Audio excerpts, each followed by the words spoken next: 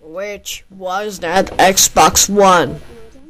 And getting the better. Because I'm still one larger in the fat Xbox One. That's it. You're going to for like infinity years.